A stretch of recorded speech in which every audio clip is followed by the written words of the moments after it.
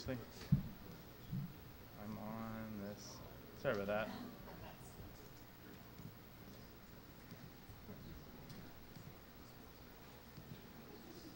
Oh, that's terrible. Okay, I'm gonna refresh this. I know, right? God, that's annoying. You want to tether through my phone? Jesus, it might be better. Okay, so the internet's out for a second, I guess. It's coming back. Give it a moment. Lo- loading. Did somebody just take down the network? Come on, guys. Second talk of the day. You couldn't wait.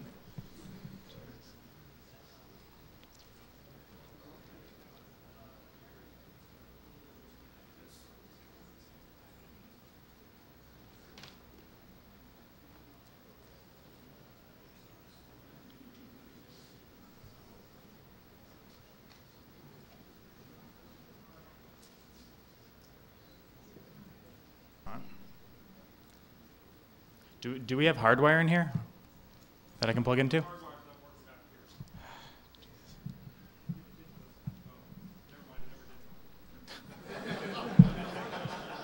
Okay.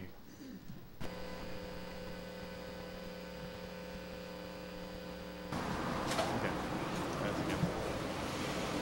Hey, man. Hey.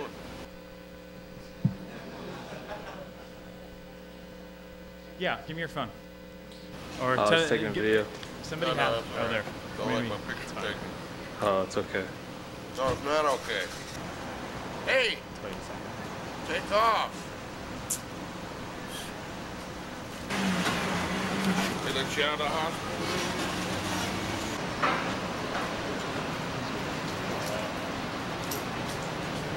Can I ask who you are? What? I'm taking a video. Of what? Just a video. Why you taking a video? Why not? I don't really care for other people to just be taking a random video of me. Didn't you just come out of the drugstore? Yeah. They have cameras in there. So?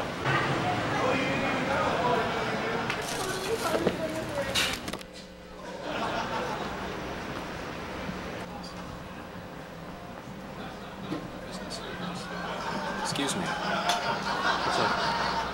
What are we doing here? Oh, I'm taking a video. I'd appreciate it if you'd go somewhere else with that, okay? Oh, it's fine. It's just a video. It's offensive to me. Excuse me. I'm trying to have a private conversation. Could you respect that? and she just didn't get it. Just a video, man. I hear you. Okay. I'm having a private conversation. Would you please move? It's just a video. I, do you not understand what I'm saying? It's a private conversation. All right, calm down. Leave. Calm down. Leave. It's just a video. Fuck you. You got it? And the horse you rode in on. Jesus Christ, you have no respect for anybody. What are you gonna?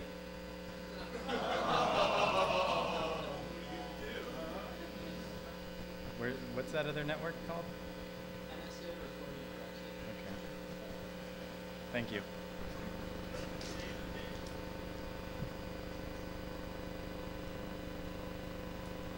Do? Follow me around now? Jesus fucking Christ. Hello, Hey. I'm white. Huh? I'm white. Why do you say that? I'm not an African driver. yeah Sorry. You need to, you need to go. Sir, She requested to not take pictures of something, an arrest that's going on. you need to go. Somebody help! Help me! Help! Help!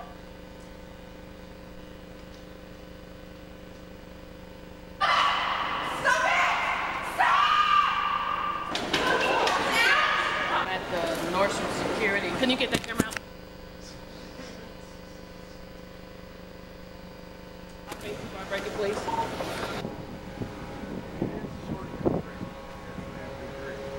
But in that situation, you see how big that girl, that big girl. God damn. Scared the shit out of me. Oh.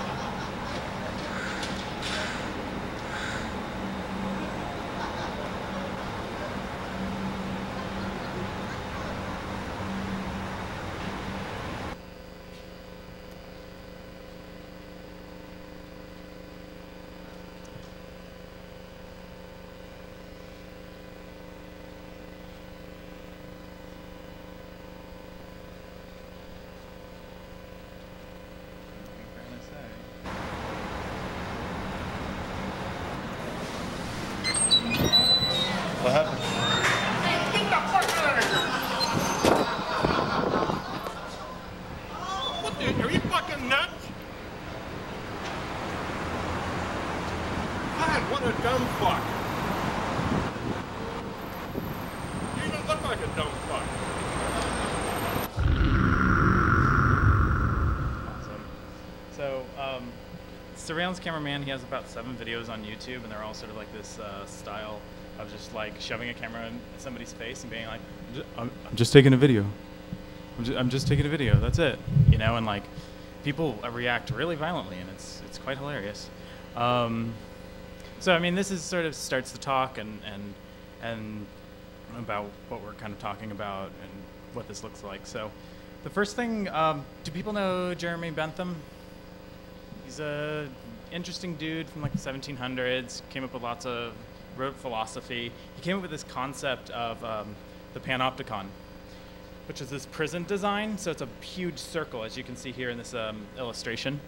Um, it's a it's a building where all of the prisoners are kept on the um, outside walls, and there's a window um, in each cell, and then there is a um, guard in the middle, who can, at a moment's glance, see every single prisoner in the um, in their cells because the, the light coming in through the window, and he he um, he designed this um, as sort of a perfect prison to uh, keep uh, prisoners in line. Um, his quote is, uh, I, I flatter myself that there can now be little doubt of the plans possessing the fundamental advantages I have been attributing to it. I mean the apparent omnipresence of the inspector, if divine will allow me the expression, combined with the extreme facility of his real presence. So, this prison plan was um, it made it so that the guard didn't actually have to be watching you for you to be, or the prisoner to be um, uh, subservient.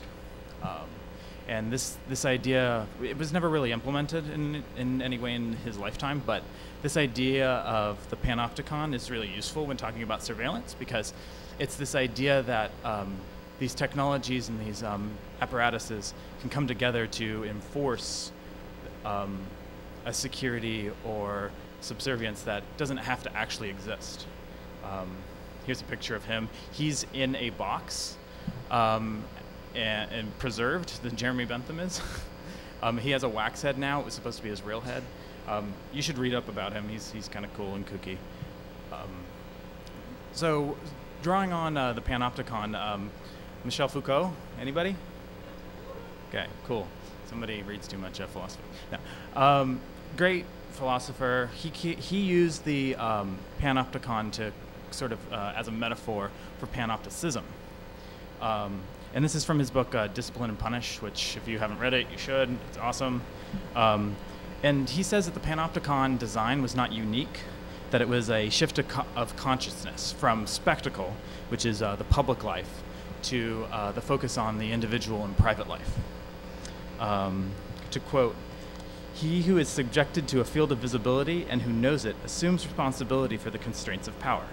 He makes them play spontaneously upon himself. He inscribes in himself the power relation in which he simultaneously plays both roles. He becomes the principle of his own subjugation. So, in our society or in, in societies, there's pretty much two ways that you can control a populace. This is, you know, what we all know and love, is when cops punch you in the face. Um, and this is, you know, very violent, very, very showy. You know, you murder everybody at the protest and nobody's protesting, and then nobody does protest. Um, this has a lot of complications. People usually don't like it. Um, people are very angry when you kill all their friends. Um, and so there's this other way, though, that you can um, control bodies in, in this way, and it's through this uh, watching of everybody and this um, the panopticism technique where the people are watched and they know they're wa- they're being watched, but they don't actually have to be watched to be in control. So the fact that we have cameras everywhere makes us not shoplift, whether or not we know people are watching those cameras, because the the the whole system works in this in this way to keep us in check, so to speak. Um, the exercise of power is made much less explicit in this case, and it's more that you yourself are subjugating your body as opposed to you getting physically restrained from doing a thing. Um, with that, now we get on to the artveillance, which is this uh, broad category that I've sort of split up into three um, subcategories. Of uh, we have surveillance, artists who engage with uh, surveillance technologies explicitly. So this would be artists who use security camera footage or um, or use security cameras as, as an aesthetic. Um, um, sousveillance, which is the um, the inverse of that. So you have the those who are being watched doing the watching. So do people know cop watch? This uh, phenomenon in the United States and abroad. That's where people go out with cameras and film the police as they're doing, like doing traffic stops and whatnot, and they cops usually get frustrated and walk away. And um, that's a, a, really good example of sousveillance. Um, and then I have this other category, anti-surveillance, which is um, sort of what I'm categorizing as um, um, explicit attacks or um, opposition to the surveillance apparatus as it exists. Um, the term artveillance uh, defines surveillance and the surveillance tools as the paintbrush and the medium. And so everything sort of um, boils down from that, and that um, you can you can start to peel back what which uh, artists are using these tools, and in in these three categories that I've sort of put them into. Yeah. Um, so this is our surveillance category. Um, everybody knows Banksy. Uh, he loves surveillance, you know, aesthetics. He uses a lot of cameras. He's very critical of um, CCTV in the UK, which is pretty much his, his influence. Um, this was a um, piece at uh, LACMA, which is the um, LA Contemporary Museum um, in LA. Um, and this is called Security Birds. I'll just play the video for you. So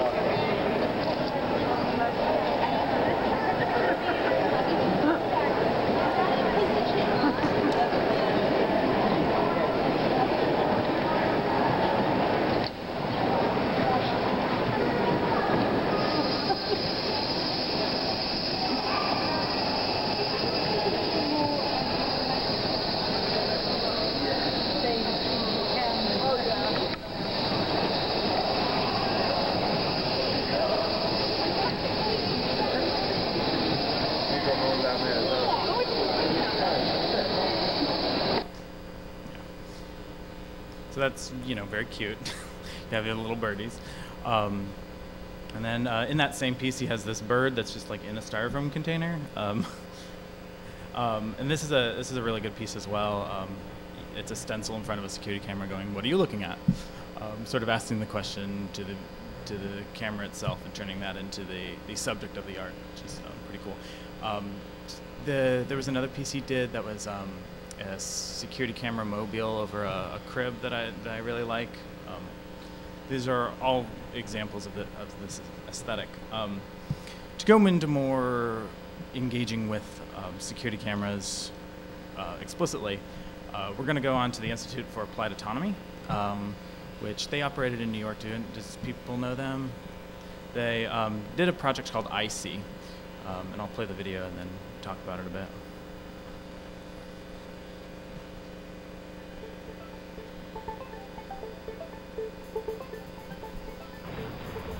Since 1998, the Institute for Applied Autonomy has developed technologies that enable average citizens, political protesters, and the functionally paranoid to defend their way of life.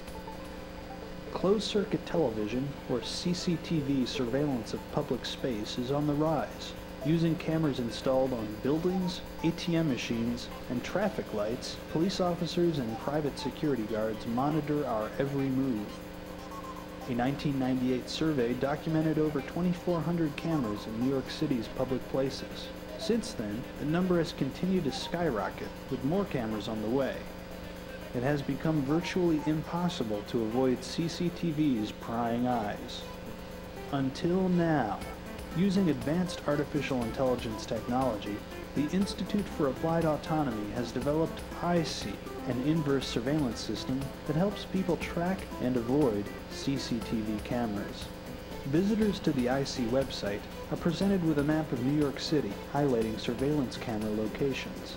Predictably enough, the majority are in areas of great financial value, such as Midtown, and the financial district, even though street crime is more prevalent in low-income neighborhoods.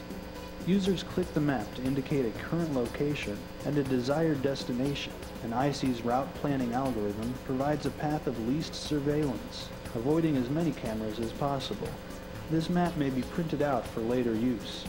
Since its launching in October of 2001, iSee has produced well over 1 million unique maps and has been extended to Manhattan, Amsterdam, and Ljubljana. In addition, iSee has provoked public debate over CCTV use in such publications as Wired Magazine and the London Financial Times, and on websites including Slashdot and Fox News. iSee is also featured on Yahoo's Travel and Transportation Guide to New York City. In August of 2002, the IAA released an updated iSee client optimized for mobile and wireless devices. This version allows iSee to also function as a data collection tool, enabling groups of users to quickly and easily create and share maps of their city's surveillance infrastructure. iSee. Now more than ever.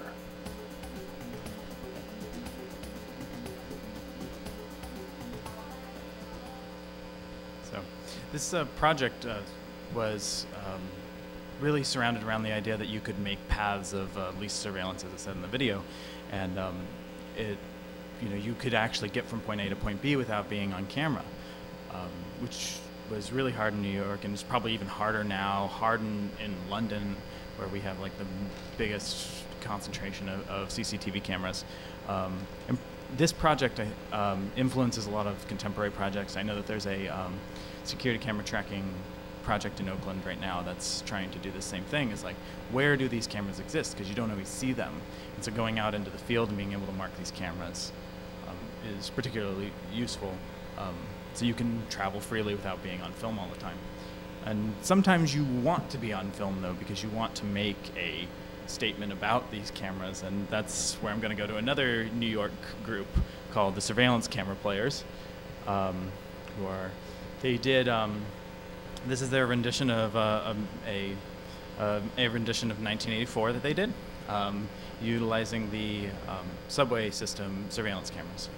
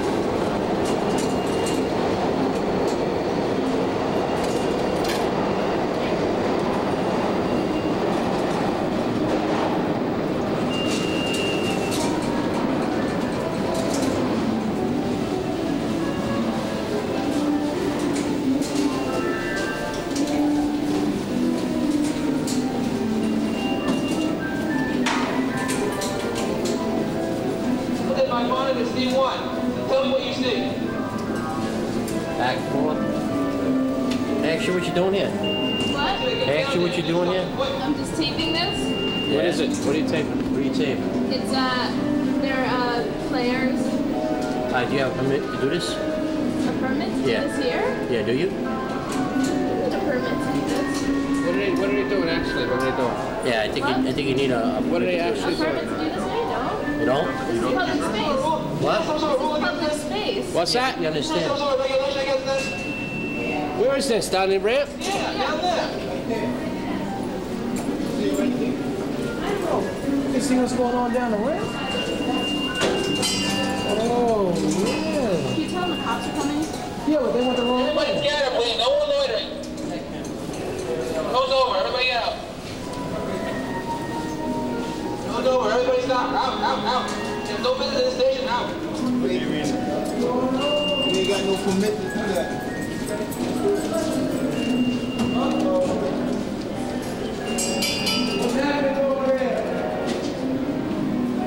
Hey, bug me in. please. Right there. Did I work in the middle of a movie? Yeah. The surveillance camera players. Oh. So what you saying like something's going on? It could have been real, clunk. That's a joke. So why are you guys doing this? Um, to show that there's surveillance cameras everywhere you turn. Yeah, but who doesn't know that? I know. It's like a joke. It is a joke. Yeah, everybody knows. I know. That's why they're. Who could be like stupid doing the? End of story. Well, anyway.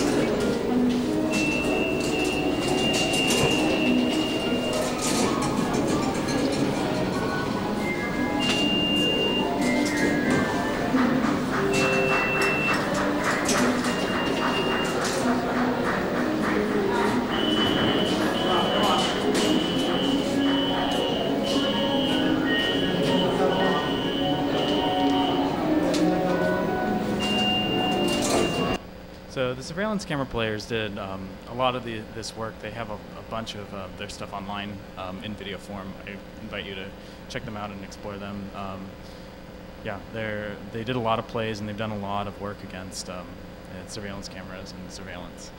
Um, the next artist I'm talking about is um, uh, Ambient Information Systems, and this is probably one of my favorite pieces conceptually in this in this talk because.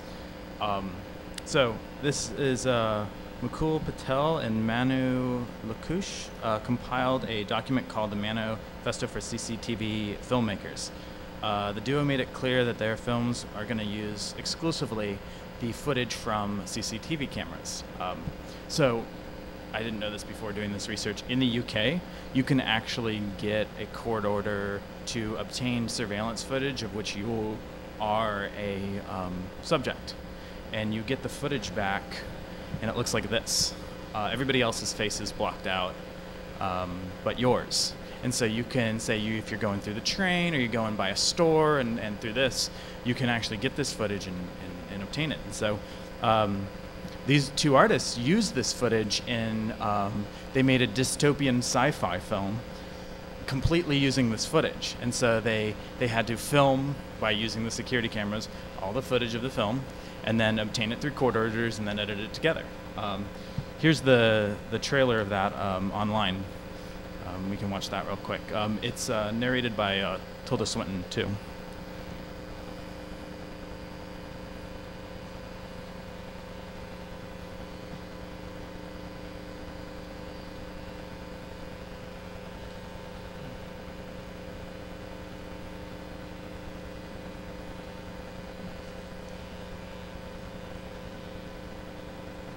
If internet will work, we will see this.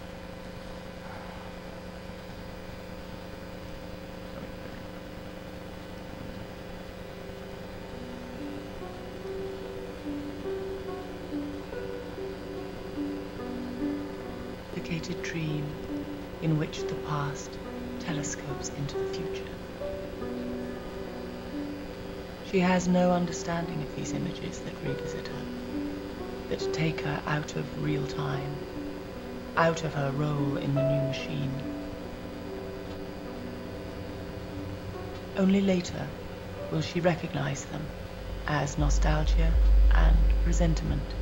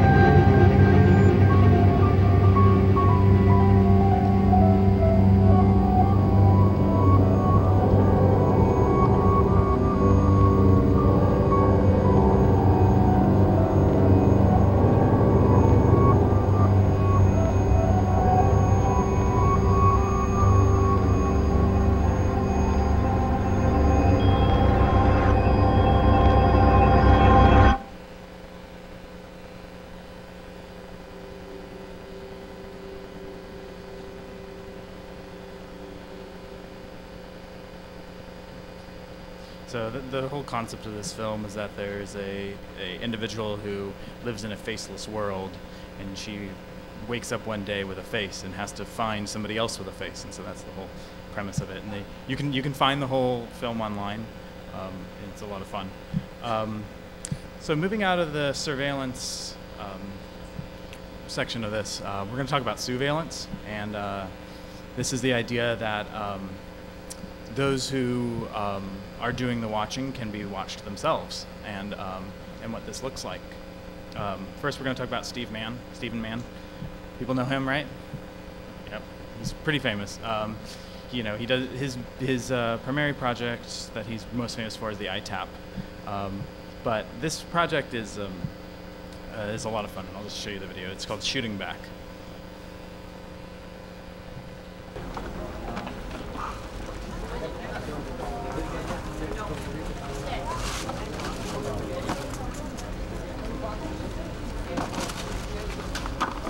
Hi there.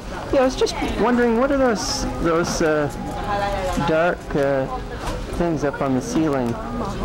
Oh, those? That's just the AC system. Just the what? AC system. Oh yeah, like those dark hemispheres up up, up on the ceiling. Yeah. Is what's a, what do you mean by AC? They're just the temperature. Oh, they're what? Like temperature sensors? Oh yeah, yeah. For air conditioning or heating? Both. So if people don't know they're being filmed, this is hidden camera right now.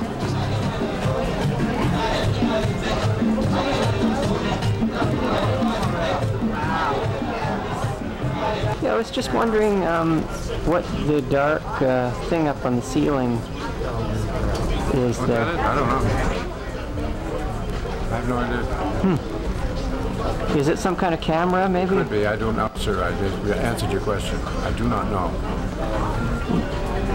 Not sure what it is. Is I'm there somebody? sure what it is. Is there somebody who might know what it is? Uh, security people. If you want to go down here as far as you can go, just to talk to the security people. Oh yeah, so it has something to do with security. Good. I don't know, sir. I'm trying to put words in my mouth.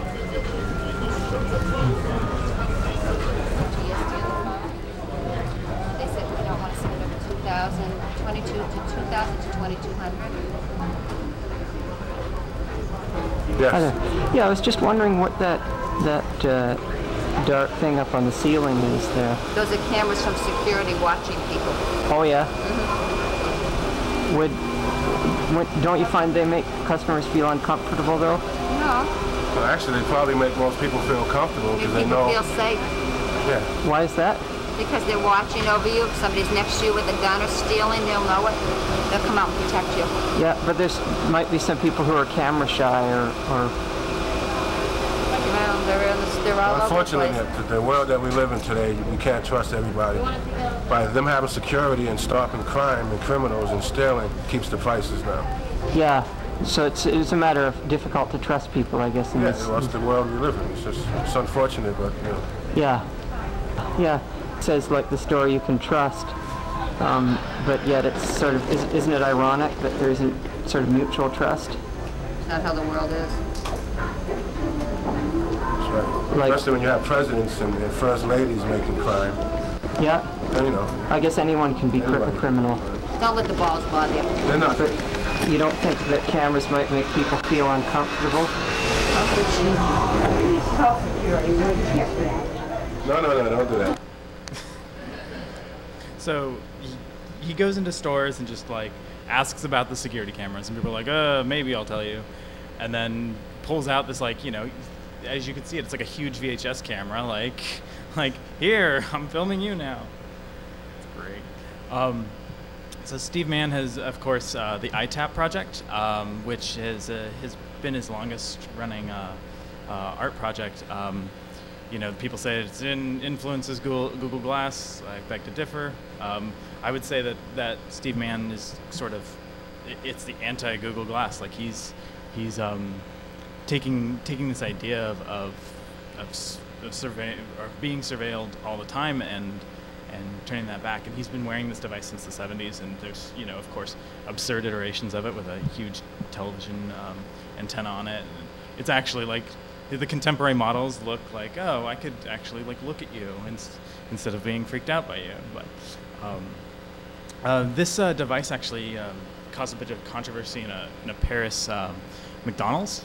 Um, he was assaulted uh, while wearing the device by um, some workers there because they didn't want him to film the menu.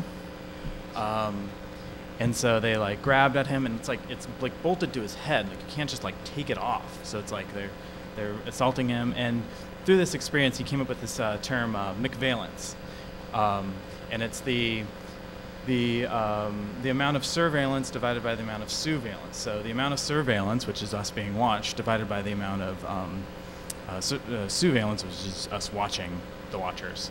Um, and he said that the more McVeillance there is, that's the, the more corrupt of the, of the society that we'll be in. Um, and then he came up with this uh, cool graphic of like, you know, how all of the the the directionality of surveillance versus sousveillance and anti-surveillance and anti-McVeillance. It's like there's a lot of valence.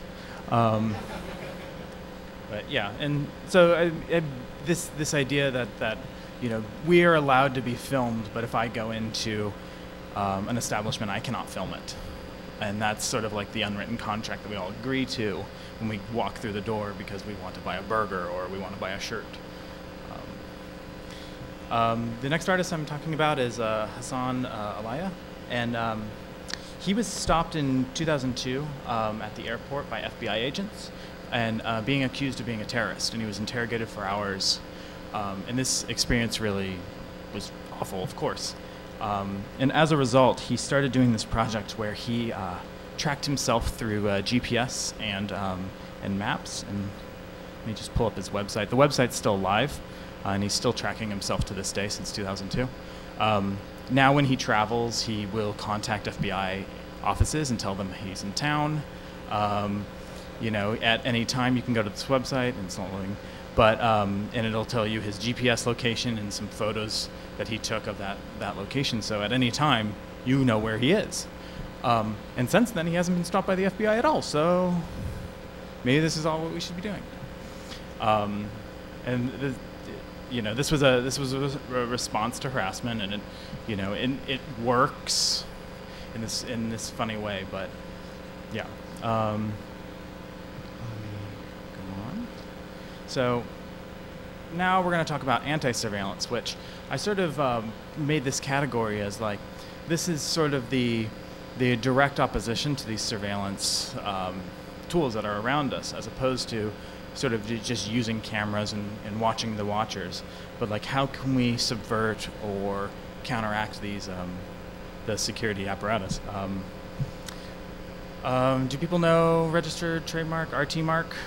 Um, they're they um, do you remember the um, GI Joe and Barbie doll talking Barbie doll switch, where people took yeah, that's them.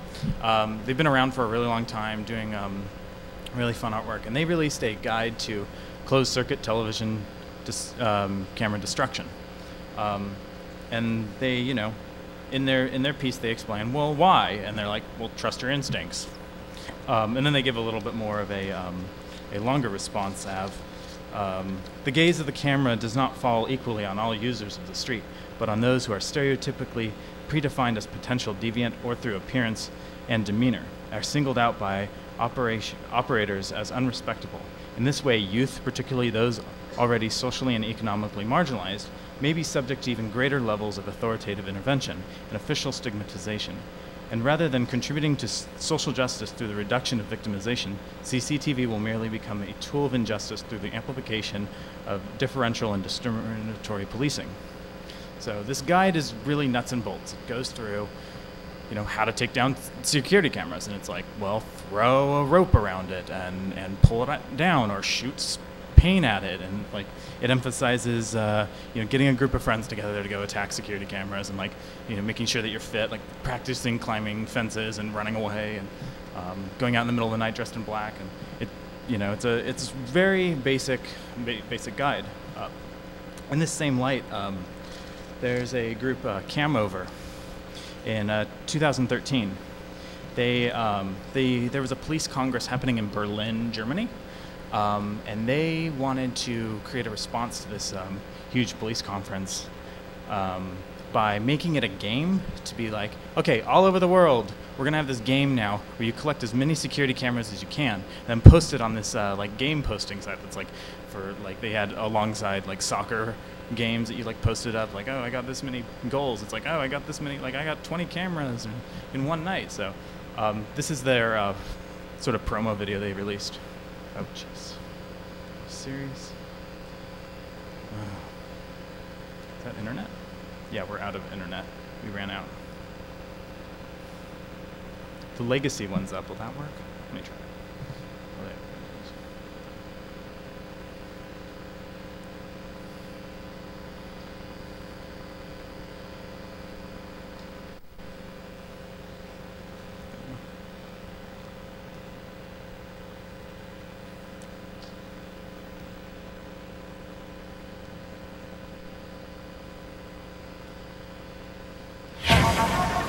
CDU hat seit Jahr und Tag dafür plädiert.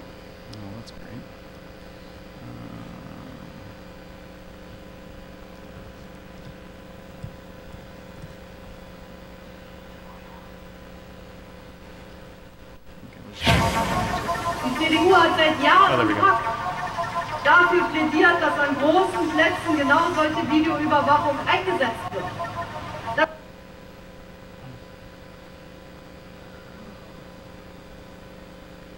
She doesn't really like survey- being surveilled on, sind right? aber Dinge, über die darf man nicht That's diskutieren, die muss man einfach machen.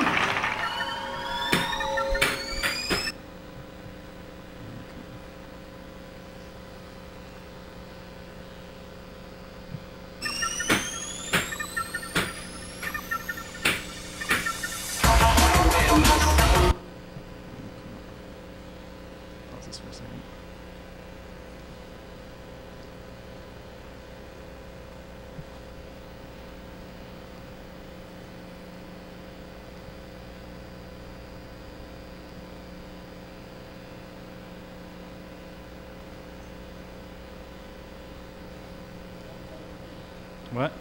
Talk while we wait. Okay, so yeah, um, Camover. They uh, they um, had th- they had this uh, initial video uh, that we're gonna watch in a second, and then um, a few other groups uh, were were spotted at like in Tacoma, Washington. A group got together and did like 30 cameras in one night, and um, it was you know it was a fun little thing leading up to the uh, Berlin um, Police Congress, um, and yeah. Let's see if it'll play now.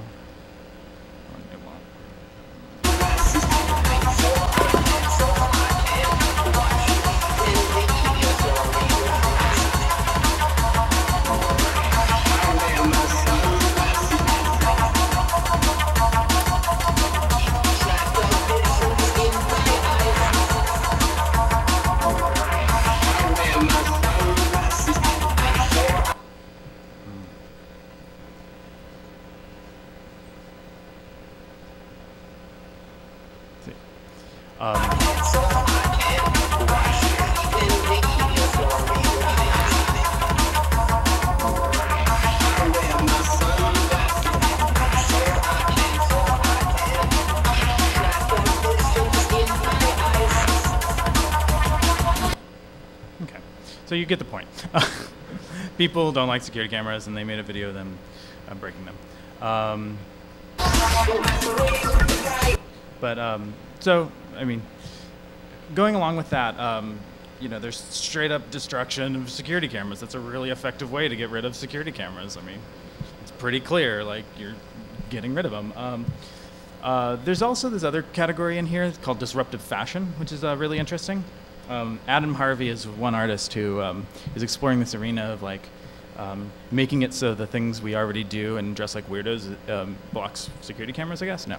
Um, you know, he created um, makeup and hair patterns that would actually confuse uh, facial recognition cameras. And so, in this uh, example, no faces are detected in this uh, for this person because of the, the hair shape and the, the high contrast uh, makeup. Um, and here's an example of just using the hair. Of course, a face is detected. Um, here's a, a close-up of that. And then you have the you know cyberpunk version of like, yeah, this is what my friends look like. Um, you know, but like these are effective ways to subvert security cameras uh, that are that use facial recognition software, and we know from things being leaked and, and, and technologies being invented, like this is real technology, and like if there were ways to incorporate it into our everyday dress, like we could walk through walk through space not being um, tracked. Um, another group who kind of is in this uh, same light is uh, URA Philo Art, um, and they did a project where they um, uh, made a high-powered LED uh, ring that you would attach to your head. Um, that would be infrared LEDs, which infrared LEDs are seen by cameras but not by people, and so you could walk around and your head would just be this big light um, staring at the cameras. Um, and this is the device itself. It's a pretty simple design. Um, admittedly, I did do a lot of research on this, and other artists have tried to recreate this, and they're like, uh, maybe it works, maybe it doesn't. But um, I think that this concept is really, really cool. And like, um, Becky Stern is doing a uh, talk tomorrow at three about uh, disruptive fashion, um, and I'm pretty sure she's going to be talking about uh, stuff like this. So that's really something you like and want to see. Go to that talk um, tomorrow. I don't remember the room, but um, I'll look it up.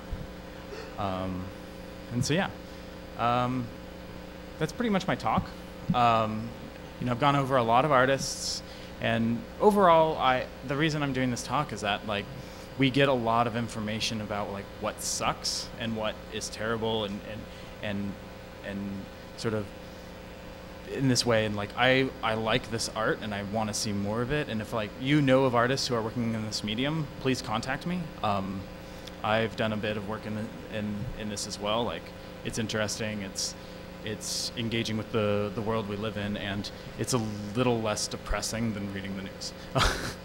um, so yeah, there's my Twitter and GitHub. I write code. I tweet a lot about silly things. Uh, this is the resources link. That goes to a GitHub account. That's going to be. Um, I have a full bibliography of the research I did, um, so you can go and check out um, and dive more into this. I have a few artists that I wasn't weren't able to fit into the presentation, um, who didn't exactly fit in any category. I just didn't have the time. Um, that's going to go up there, and I'm going to be updating it um, as I go. So if I if you send me artists through Twitter, I will put them up there later today. Do people have questions? Yeah. Uh, so I have right now. I have. Um, there was this artist who did a security camera defeated by a balloon. Maybe I'll just pull this up real quick since I do have like five more minutes.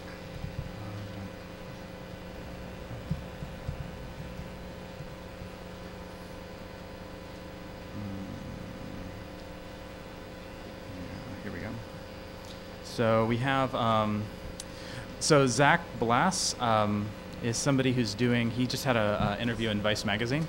Um, and he um, is an artist who's working both in uh, the queer space and in the surveillance space, and he created these masks that um, hide your face. Um, and um, this whole interview I linked to, and it's it's quite good. Um, that's a that's one of the artists I, I was able to find.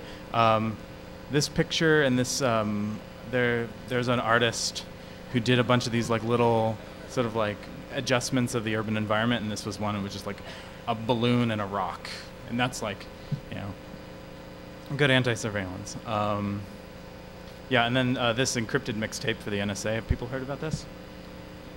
Okay, I'll click on it anyway. So an engineer made a, a a encrypted mixtape for the NSA because they're like, well, you can read all my emails, but I really want you to listen to my music. Like,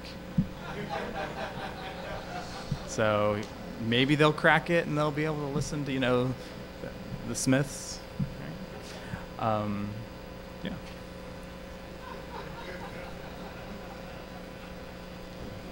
Any more questions? What? Who cut my hair? What? Ah, trolling me. It, I got friends in the audience. Yeah, what's up?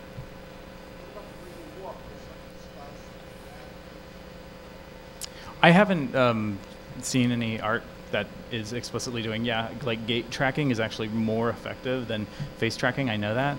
Um, I'd like to see work in that arena. Um, if you know of people, like forward them along, or maybe we could start it. yeah, if you're looking for art to do, ho- hobbling or you know making your shoes different weights to, Segways. Ah, damn. Segways. Yeah. Any more questions? Oh, in the back. Sorry, I can't see very well, so yell at me. Hi. Yeah.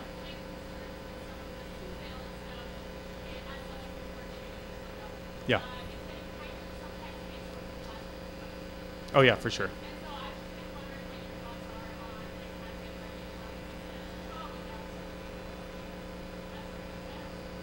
Yeah. Um, yeah, I, I, for sure. I mean, I, I think it's like, yeah, like, haha, you have a job and you work with cameras and you're an idiot. Like, it's, it, that's sort of like the Steve Mann um, video sort of has that tone. And um, I would, I would say that like the most effective way to sort of counter that, uh, what I would like to see is like making workers aware of surveillance and how it's actually like not beneficial for them to have cameras in the workplace in that way like that like they are there for the workers to be watched over by their managers um, and to watch for shoplifters. Um, that's sort of just like a, a philosophical thing. Um, artistically i'm not i'm not exactly sure yet. Any more questions? Yeah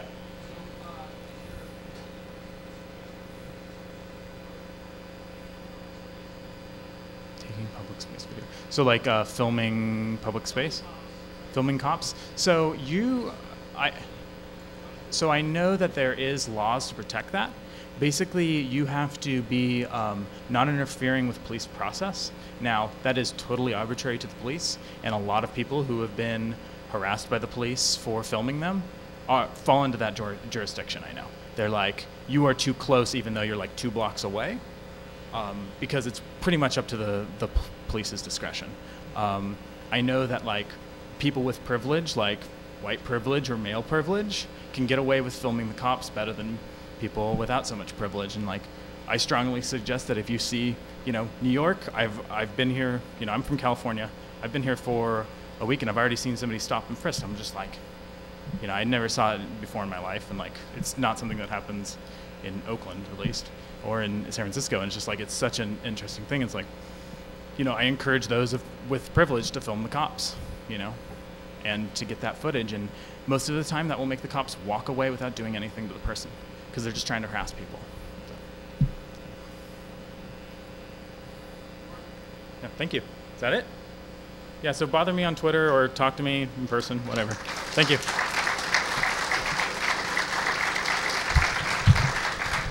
And I don't know how many people are new here, but uh, I'm Ted, the video guy. And just a reminder, we did film this presentation, and they'll be available starting tomorrow uh, out on the table. So Thank you. look for them on the internet.